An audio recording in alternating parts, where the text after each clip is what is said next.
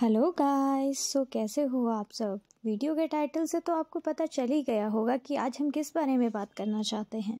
सो so, आज मैं आपके साथ बहुत ही इंपॉर्टेंट इन्फॉर्मेशन शेयर करने वाली हूँ। टाइटल को देख के आपको पता चल गया होगा हम एम्स पटना के एग्ज़ाम के पोस्टपोन होने के बारे में बात करने वाले हैं। तो वीडियो को स्टार्ट करने से पहले मैं आप सभी का वेलकम करना चाहती हूँ अपने चैनल नर्सिंग का ड्रीम पर। सो so, किसी भी देरी को करते हुए हम जो है वीडियो को स्टार्ट करते हैं। तो जैसा कि एम्स नॉर्सेट के बाद जो है, एम्स पटना ने एक अपना ऑफिशियल लेटर जो है रिलीज़ किया था for the direct recruitment of nursing officer जिसका एग्ज़ाम होना था, लेकिन ड्यू टू सम रीज़न ये एग्ज़ाम अभी पोस्टपोन कर दिया गया है।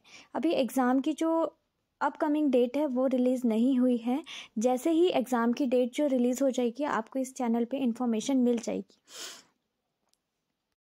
नर्सिंग से रिलेटेड सारी इन्फॉर्मेशन की अपडेट्स लेने के लिए इस चैनल को लाइक शेयर सब्सक्राइब करना ना भूलें। और अगर आपको वीडियो